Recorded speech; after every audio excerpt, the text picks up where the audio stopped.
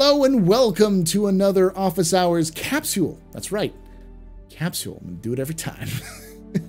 this is a small section of my Office Hours live streams that are live on Thursdays at 6 p.m. Pacific, 9 p.m. Eastern. You can come join this wonderful chat. Say hi, chat. Live and ask questions before or after. We do a nice little hang out and talk about the news and other things. We talk about lore, we talk about news, we talk about the game. Uh, we often go off in random tangents about different things. So come join us live for that. But today we are going to be going over the November and December monthly report for Squadron 42. This is not a summary, this is the entire thing. I'm going to read the whole thing from beginning to end and give my interpretation here and there, maybe fill you in, especially if you haven't been following this, because we've been doing this for months now, following the progression of Squadron 42 and Star Citizen. Uh, there may be some spoilers in here. I try to do my best, or CIG does their best not to kind of do full spoilers. But if you're really interested in what's going on at CIG with what they're focusing on with Squadron 42, this is probably the best way of doing it currently because they don't really give us a lot of updates, sometimes through the progress tracker they do, but this is the best kind of real time update on what's going on with Squadron. So, without any further ado, as you can tell from this length, this is going to be a big one. So, make sure you grab yourself some water, some uh, tea, some food, sit back, relax. Let's get started with the November December monthly report for Squadron 42. All right. AI content. Towards the end of the year, the AI content team completed significant number of tasks for Chapter 15. This included prototype animations for crowds and combatants alongside developing several usables and animation sets for dejected characters around the level. The welding engineer also received a lot of improvements. The team made extensive pass on the animations and progressed with the technical challenges of getting the welding helmet, multi-tool parts, and the welding effects working together. Considerable work was done to get a basic version of an AI character interacting with a variety of usables found in living spaces. The bridge crew behavior and animations also received further iteration and are now starting to look polished. Animation supported AI features with box carrying, which resulted in a number of significant visual improvements. A large number of production and organization work was done too, resulting in a comprehensive animation schedule that details all the known work required for Squadron 42 to be a content complete to be content complete. As part of this, the team will now implement usables and behaviors into the final game levels earlier in the pipeline. So, for those of you who may not be here, this may be your first time actually reading some of these. Uh, Star City or Squadron 42 has several levels complete. Now, complete, meaning they've built everything they wanted to build in it, but they still have to go through testing and other phases. They've gone through most of the early levels. There's something like 23 to 28 levels. I always forget those ones. It's in the 20s, upper mid, mid to upper 20s in terms of chapters. So they're getting content complete on animations or on AI content, which seems like they're finishing up the content that they need for the AI overall. Uh, much of the later levels are done and much of the earlier stuff is done. So that's just this middle section, many of which had been languishing for a long time with some stuff just not being updated. So they're finally getting around to it. So that's that's the kind of context of what's going on. But we're seeing a lot more behavior that is not directed towards belligerence. This is the, some of the first time we've seen seems like non-combat AI updates for AI content, which is nice.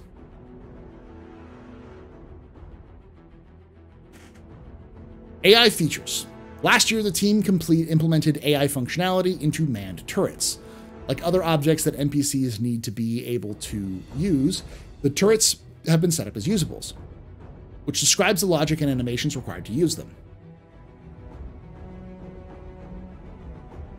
As with the player, animations are synchronized with the turret movement so that the AI grips the turret by its handles while rotating on the spot to aim horizontally and tilts the turret up and down to aim vertically.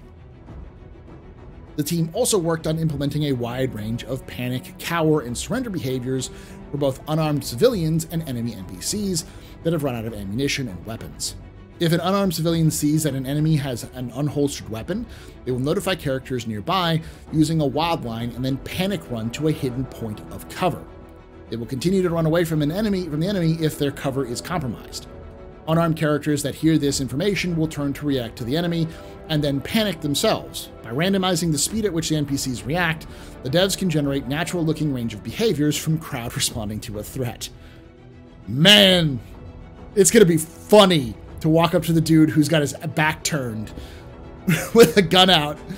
And the guy's like the last one to realize. He looks around and is like, why is everyone running? And turns around and goes, oh, and runs. and this is all stuff that's features on, on civilian AI and behavior, which is nice. Armed enemies that have run out of ammo and weapons will cover while searching for valid ammo and weapons to pick up. Again, if their cover is exposed, they will reevaluate and run to a new position. If the player aims at an armed an armed or unarmed NPC, they will stay at the spot but turn to face the player and move through a sequence of surrender animations whilst communicating with the player. As part of combat, the team worked on the medic AI behaviors to allow NPCs to find incapacitated peers that need reviving and use med pens to get them back into the fight.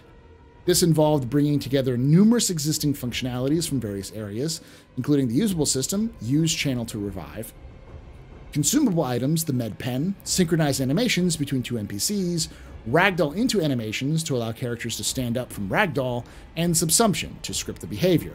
The next stage is integrating this behavior with the standard react to presumed dead bodies behavior to generate more complex behaviors. AI features also started to work on the new non human character.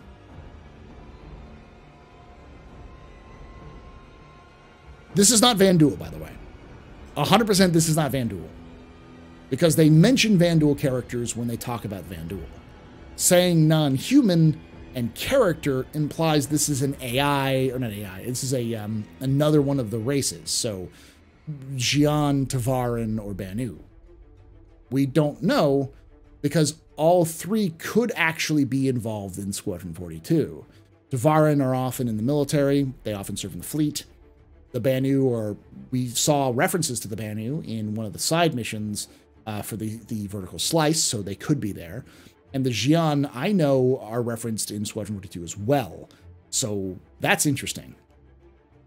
This involved creating a new core set of animations for the new creature and slotting it into an existing framework.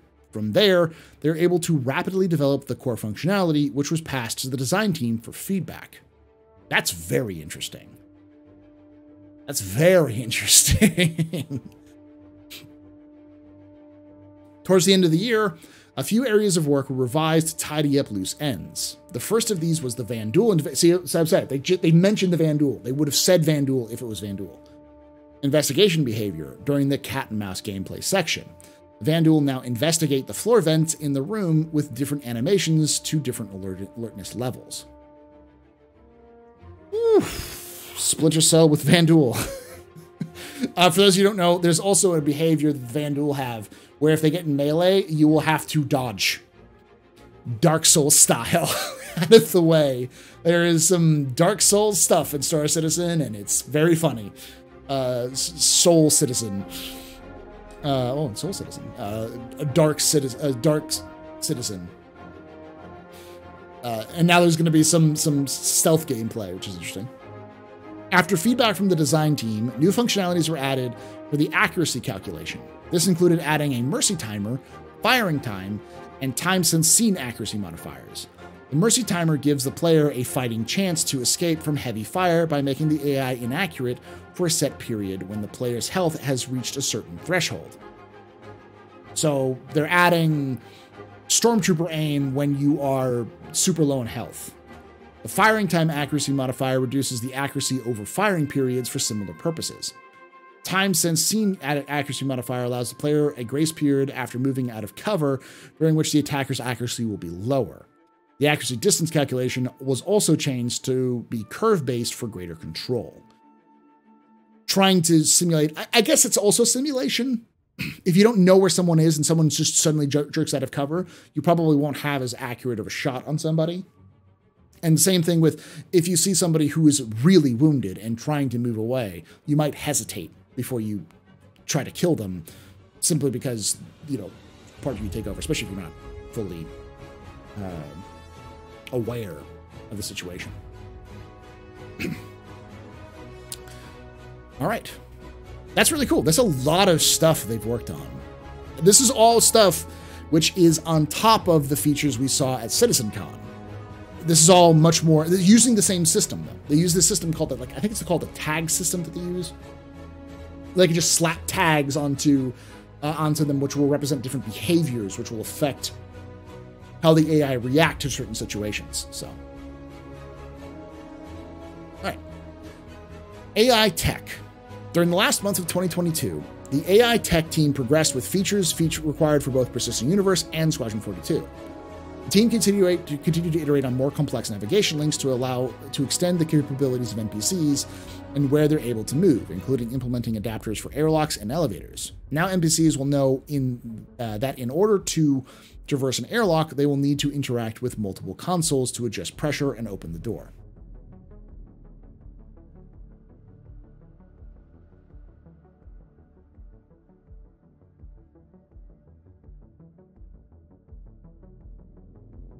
I was going to sneeze and now I can't.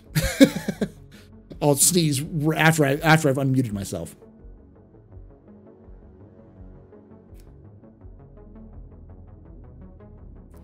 For um now NPCs will know in order to traverse an airlock, they'll need to interact with multiple consoles to adjust the pressure and open the door. For elevators, navigation links were created to connect multiple floors. A navigation link was also created to request reconnection with navigation mesh triangles each time an elevator stops at a floor to allow NPCs to transition in and out. Based on the navigation link uh, connections, an NPC will now know how to request an elevator to go to a specific floor. New event notifications were also added, sent by the elevator when it arrives at the floor so that the actor will know to get on or off.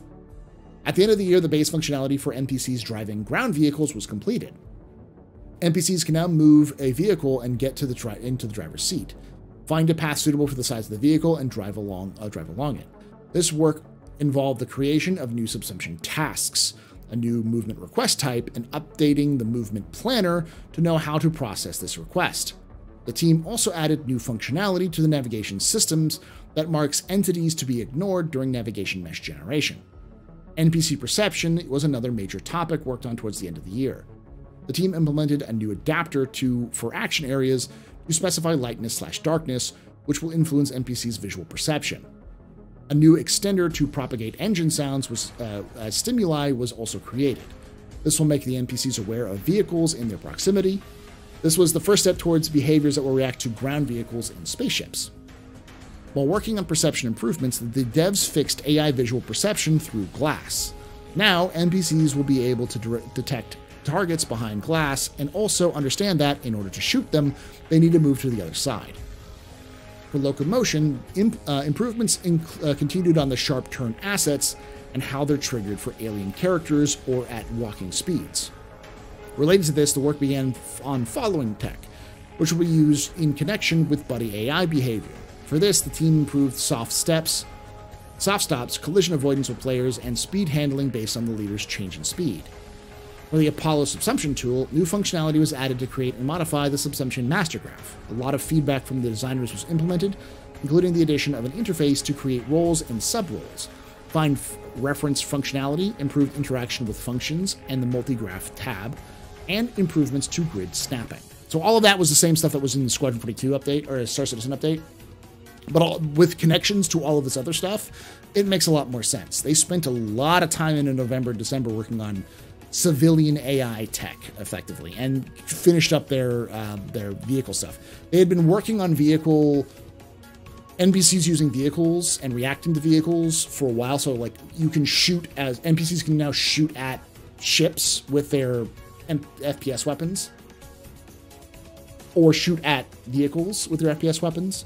So it'll be interesting to see how that goes on. It's also important to remember that none of this tech is in Star Citizen right now nor will it be implemented until after 4.0. At or after 4.0 is released. So a lot of this stuff is still waiting for server meshing before it can end up in Star Citizen. But it's first being developed for Squadron. So AI vehicles. The vehicle feature team worked on significant improvements and features for flight AI, including largely completing their work on several sections involving ships attacking actors on ground. This work involves around the redesign of the core combat logic. We're working towards more varied and interesting ship combat experience than before, so we're planning out and making changes to combat AI and testing them in Squadron 42 to get the experience we want. AI vehicle team.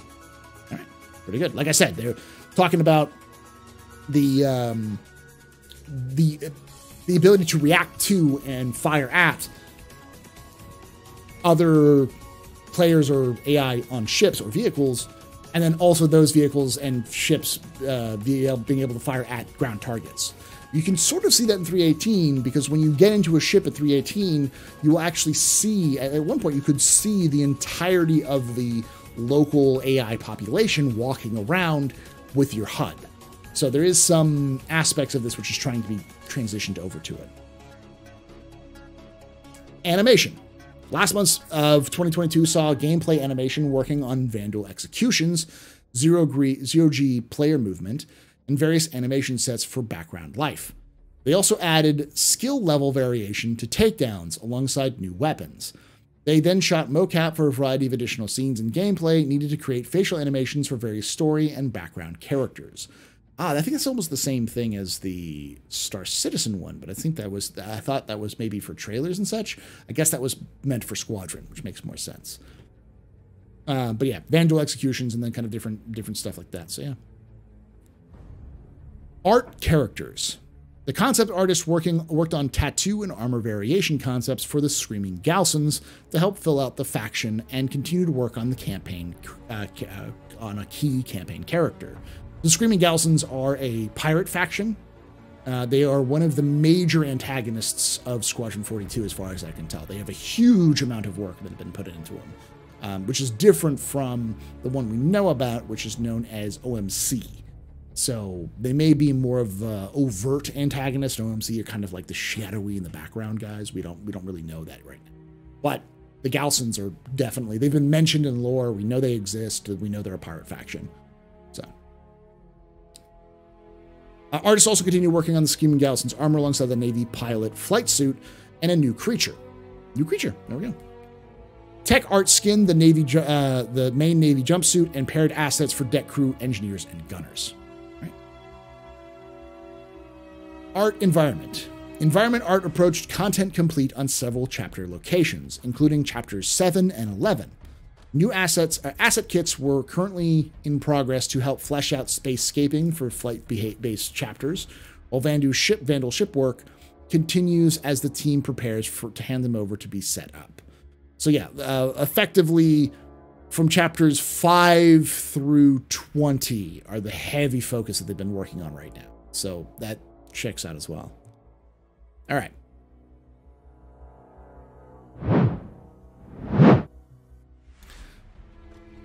I am not an engine seer. I'm not a tech priest. I am not a Starfleet engineer. I am not an engineer. I'm not. I'm not part of the the the Forerunner's creations to disassemble and reassemble a a, a, a, a freaking electric car by rote memory. I can't do any of those things. I am not fluent in engine speak. If you are, please let me know in the comments below. Now, this is almost certainly the same thing we saw from the Squadron 42 or Star Citizen monthly report, which we did last week. Uh, and as far as I could tell, someone posted that uh, this is just optimizations. It's effectively what the engine was this this uh, this month. These last months, they just focused on optimizations. But I'm still going to read through it just in case you care more about Squadron 42 than Star Citizen. You didn't read the, watch the Star Citizen one, or you just want to hear both at the same time. It's okay. I understand. I have a very, very soothing voice. So let's get on to the engine section. November and December were busy months for the physics team. Aside from plenty of bug fixing and supporting Alpha 318, they worked on various optimizations. For example, the cost of performing a part OBB versus grid cell overlap checks was amortized. Amor it Uh, amortized, amortized by performing them in one call for a grid node instead of cell by cell. Also, substepping for attached and AI controlled NPCs on the server was disabled to bring back actor entity step performance. Several internal data structures were compacted and reordered for a smaller memory footprint and better member alignment. On the renderer, the team enabled the Gen 12 pipeline and scene rendered by default. This will be featured in Alpha 318, which is a major milestone on the road towards completing Gen 12 transition and providing a Vulkan backend. Uh, following October's work on particles, further substantial progress was made. Gen 12 refraction and half resolution rendering support for GPU particles was added. The particle stage and GPU handler refactored, and, a, and particle shader background compilation was enabled. Furthermore, particles split for each hierarchy level are now updated in a way that ensures UAV resources stay consistent across each patch, across each pass and don't change. Moreover, debug visualization code for various systems was ported to Gen 12, and PSO caching for projectiles and particles was improved.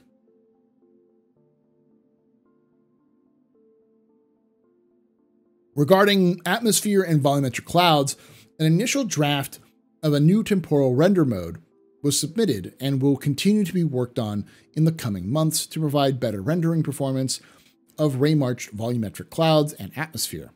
Furthermore, various options for refined cloud shaping were brainstormed with Tech Art and will hopefully find their way to release soon. On Core Engine, the team completed work on V2 of pack data file support for game engine, or for the engine, game and tool side.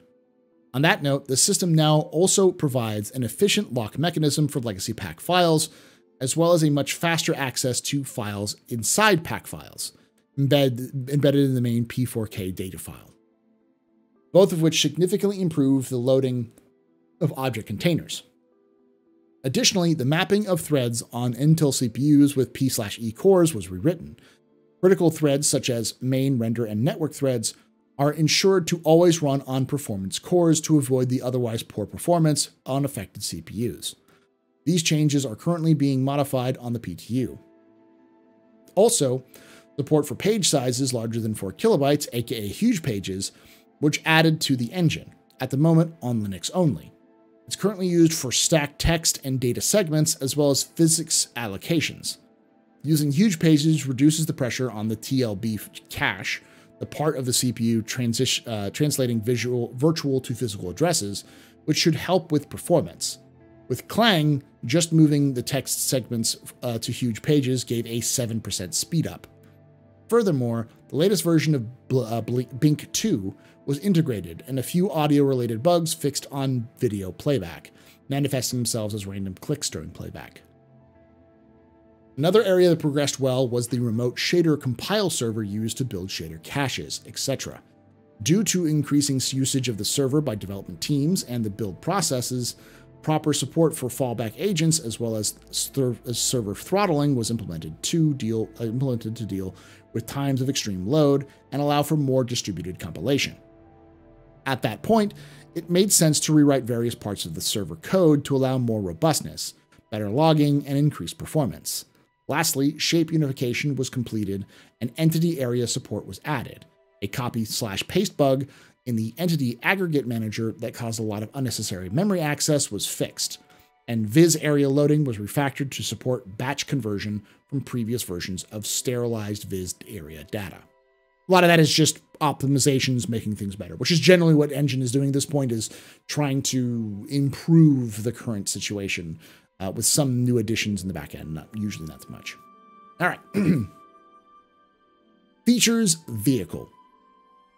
Last two months of the year saw vehicle features largely completing a full rework of quantum travel, which is being integrated into Squadron 42 for testing. This continues to be the uh, continues from the quantum boost feature mentioned in previous reports, and significantly improves the overall feature implementation. They also supported the VFX team in integrating new effects for quantum travel. So they're mostly done with the rework for quantum travel. So it sounds like they're effectively done. That's the quantum boost and all that other stuff that people have been losing their mind about. They also worked on a recall feature available for various military ships in the game. This uses AI pathfinding tech used in the PU and will allow various Squadron 2 levels to be completed. This means that you will be able to, I think, recall your ship. If you are out of your ship, the ship will then fly to you so you can get in your ship and fly away. Obviously, to complete a mission, you need to be able to get out of there.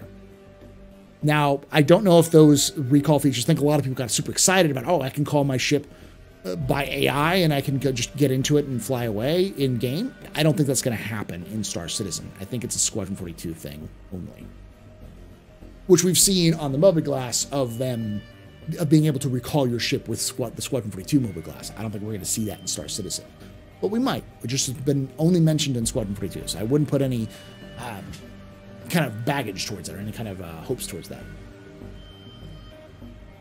Vehicle features then completed a significant refactor of the aiming system and are currently working with UI to implement new aiming reticles and pips to go alongside it. This will result in a huge performance uh, improvements in aiming accuracy and reliability. It's currently being tested to improve in combat experience. Different reticles, I guess, okay? Significant time towards the end of 2022 went into multifunction display, MFD, heads-up display, HUD, and vehicle UI reworks. The based MFD system is making huge strides, and we're partially implemented most of the core MFD screens for ships using the new building block system. We're just starting to build a new HUD, which deeply integrates the MFD system with the configuration options, the MFD casting, uh, casting options, vehicle feature scene. This is interesting because this is a brand new system. They've mentioned this before of the old new HUD, but they had been working on variations of the HUD, and I think they completely threw it out. So I think we're they're going on a brand new HUD and haven't told us that the current HUD that, that was the new HUD is old now. They've thrown it out and gone back to, to, to scraps from the starting points. That is very interesting CIG doesn't like to admit when they throw it out. But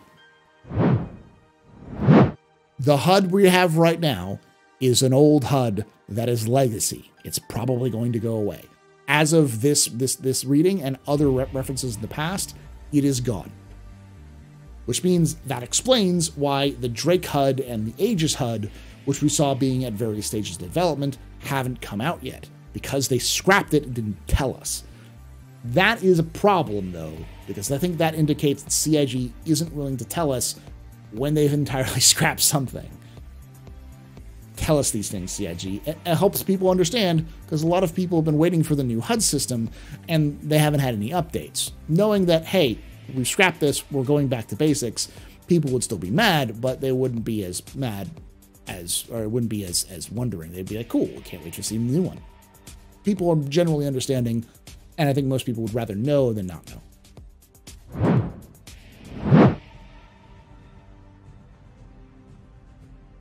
Control surfaces continue to develop, and in the last two months, the team improved stalling and transitions.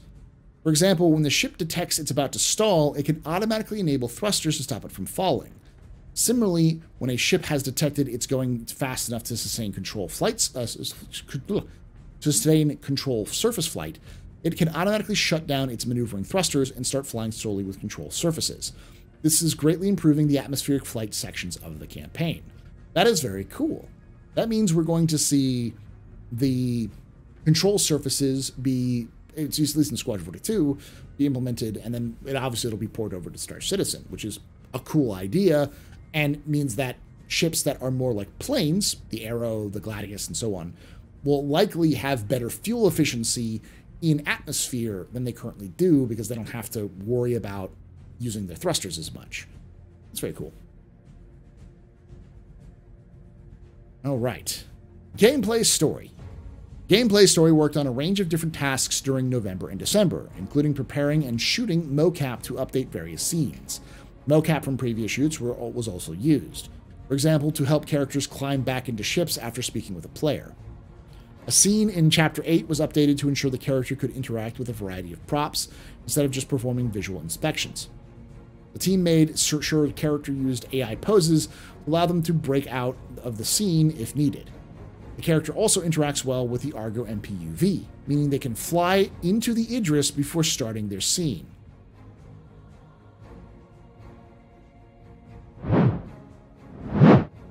Our short king, is a main ship in Squadron 42. Confirmed. Send it into the hills. The Argo MPUV is a flyable ship in Squadron 42. Heck yeah. All hail our short orange king.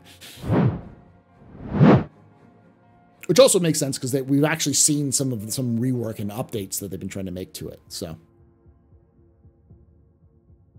Another area further explored was unholstering and holstering. This time, the team was able to make a character grab the multi-tool and datapad from the exact position it attaches, uh, it attaches to the character and place it back. Hmm, interesting.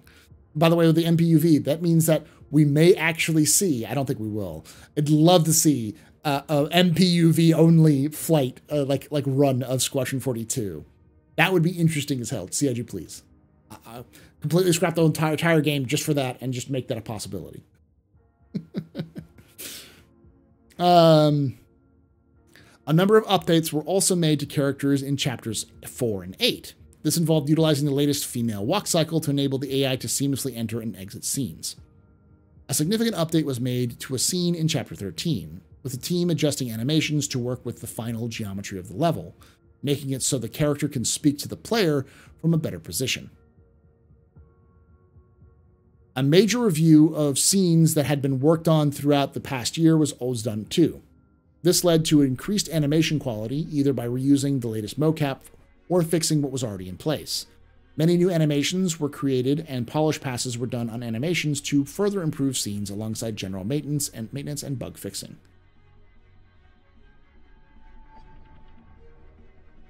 All right. Graphics and VFX programming. The VFX programming team began implementing new quantum travel and boost effects. These effects are now in basic functional state and are triggering at the general and correct time. Work will continue to expose timing controls and implement the functionality for adapting these effects to any size ship. Work on the fire hazard system is wrapping up again, starting with the implementation implementing request for controlling fire and its propagation for design purposes. On the visual side, the team are currently planning out the work required for reaching the visual goals set by the VFX art. Okay, so it seems like the quantum travel and quantum boost stuff is starting to become more finalized. And remember, this is all stuff from November, December of last year.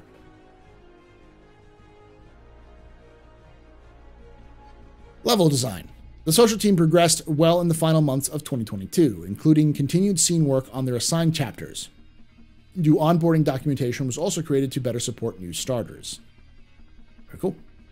Yeah, so uh, for those of you who don't know, Squad 42 is broken up into three different level types FPS, social, and flight. Uh, so I guess it's just the social team. Social team's working on some new stuff as well. So you can think of this kind of like uh, Mass Effect, where you have the the on flight, you know, like the, the the combat roles, and then you have the on the ship, and you're kind of doing social stuff. Uh, but you also add the you know flight and um, kind of combat, flight combat versus on foot combat, and all of these are interchangeable. So you could have a social scene that turns into an FPS scene, which turns into a flight scene, or whatever. They they kind of flow within one one another, but they're built separately for different teams. Narrative. November and December were busy months for narrative team. Firstly, they had a week long performance capture shoot in the UK to close out capturing wildlines for one of the enemy factions, probably the Galistons, as well as narrative content scenes for a set piece. They also picked up content to support the new dynamic conversation system that will provide exciting opportunities for NPCs to chat with one another. This opens up a lot of opportunities for contextual uh, conversations that can help maintain the illusion of life and storytelling outside of dedicated scripted scenes when in Star Citizen CIG, that is desperately needed in Star Citizen. Cool, I like it, but also an SC, please. The team continued to hold reviews on the various design teams to, help, to develop updated scripts and provide placeholder recordings. This is to ensure that lines are not only creating the right dramatic beats, but also creating also clearly indicating what the player is meant to do in order to progress. Narrative also met with characters to ensure that all necessary costumes have been requested to support the various chapters that specific NPCs appear in. Based on the scope of the script, it shouldn't come as a surprise there's a lot of characters that players will meet over the course of the game, This list is compl- uh, complicated by the fact that some of the characters will have a schedule that will drive them to work from, from work to rest, necessitating a variety of clothing to be available. Costume changes for characters. That's interesting. That's, I, I don't think I've seen many games that do that, where you have different costumes for the same character that'll depend on when they are. That'd be kind of interesting. Uh, yeah, and, and for those of you don't know, uh, the game is anywhere, like the main story campaign, last we heard, was about 20 hours with the full optional stuff uh, adding to about 40 hours of gameplay. So this isn't like a like a four hour COD gameplay sort of like COD campaign. This is a massive, massive gameplay uh, compared to like I said, I compare it more to Mass Effect because it's uh, probably the closest you're going to see in modern gaming to what Squad 42 is attempting. All right, tech animation. Tech animation spent the end of the year focusing on head asset processing. We've taken some long overdue actors and started to the internal processing procedure to create their likenesses. This includes creating over 78 scans per head asset and processing them to the neutral head asset. Some of these actors were scanned over seven years ago uh, uh on the main shoot for Squadron 42. They look quite different these days. Tech animation team. The team uh, take these complex scans and break them down into individual muscle movements and apply them to the facial rig asset, ultimately including them in the gene pool, gene pool to give more variety to the heads and faces seen in game. Very cool.